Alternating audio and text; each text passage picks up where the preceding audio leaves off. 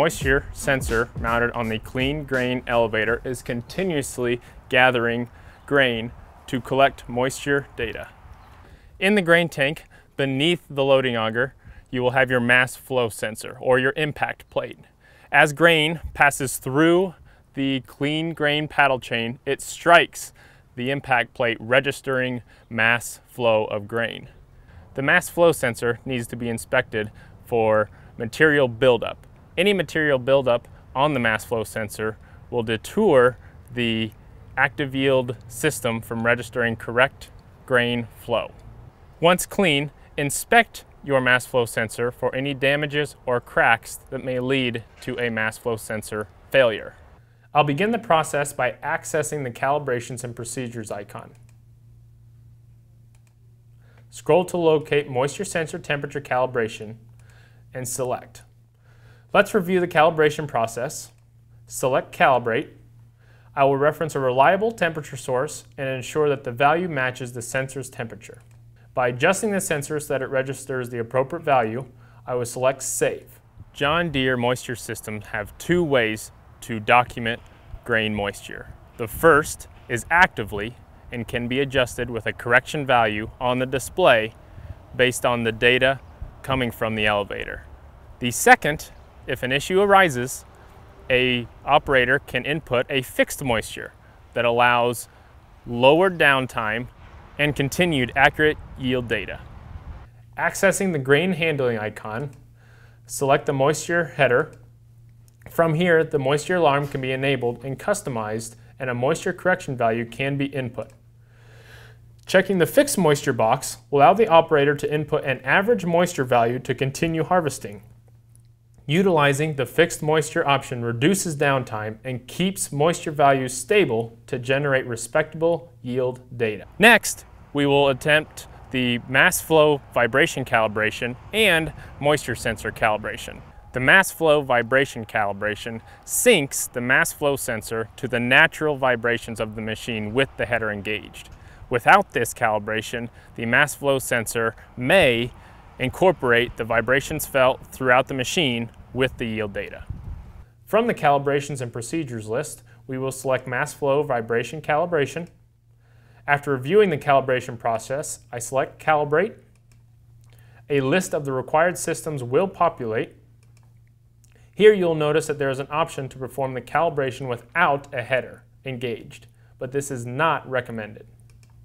Once all the green check marks have been populated by meeting the required criteria, we select the Next button. The calibration will proceed automatically and complete. We hit Save to store the calibration.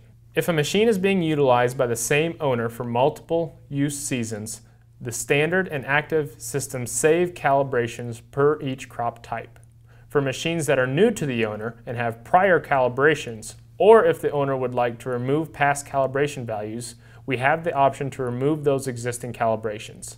Let's take a look at a standard calibration to see more.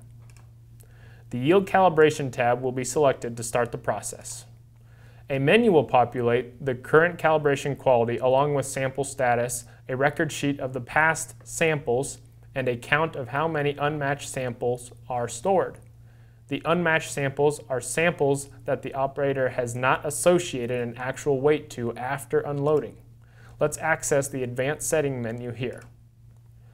In the Advanced Setting menu for yield calibrations, we can select a factory reset, change the calibration modes, and configure manual calibrations. Once manual calibration is selected, the operator can edit and select samples. This opens a menu of samples where the operator can select or deselect certain calibrations based on the level of margin to manually adjust the yield data points. The Advanced Options buttons is commonly used for machine-to-machine -machine yield calibration transfer. If a machine is coming into a field that does not have calibrations for this crop type, or a repair was performed on a machine that cleared its history, a set of data points can be transferred to the machine from here. The values can be referenced and transferred. Transferred data points can also be adjusted to accommodate machine-to-machine -machine operational differences. Now that we have reviewed the calibrations and processes to begin harvest, let's review the processes to create a new yield calibration. In the yield calibration page, press the record icon to begin a calibration. Hit start and begin harvesting. Accumulate at least 6,000 pounds of grain and the right hand indicator will visually represent an acceptable load. Once the load has been taken, it will be stored in the unmatched samples category where the operator can match up a scale weight at a later time. When taking multiple samples, it is beneficial to have each sample taken at a different mass flow rate. Three calibrations are the minimal requirement and the more saved loads you have will mean more accuracy. When operating the standard yield calibration, it is a good habit to check the system periodically throughout the season by performing an additional calibration to ensure data consistency.